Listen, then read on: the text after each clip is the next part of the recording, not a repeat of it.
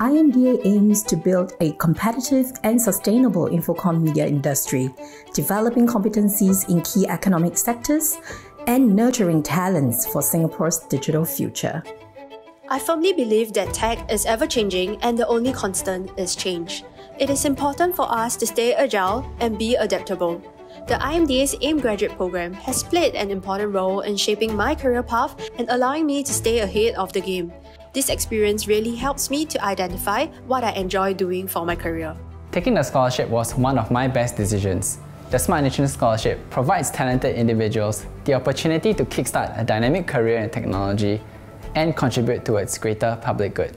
The Immersion Internship Program enables me to gain a deeper understanding of the infocomm and media industry in Singapore, and at the same time, work on projects that have a direct impact on the digital ecosystem in Singapore. I've always been interested in technology and the potential of using tech to improve all aspects of our lives. So, choosing this as a career was a natural choice for me. Join us.